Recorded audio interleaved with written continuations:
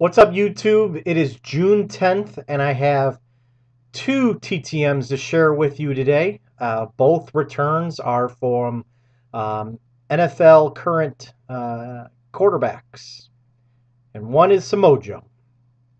So the first uh, TTM are two 5 by 7s um, from current backup Bears quarterback Jimmy Clausen signed uh, two pictures when he was with uh, Notre Dame. Signed in black. one. And then here is the second. So a nice return from Mr. Clausen. Then the next one is for my project for mini footballs. As you can see, it's a, uh, a blue football here.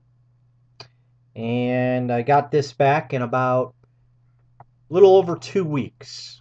That was the wait. It's coming from current New York Giant quarterback Eli Manning. Signed it nice, nice and big in black. I sent a silver Sharpie, but I'm actually quite happy that he used his own black one so uh, it doesn't smear or anything like uh, some previous footballs I've gotten. So, uh, pretty mojo success from Eli Manning. That's it for today. It's time for the Blackhawks to hopefully win tonight in game number four. Hope to talk to you guys soon.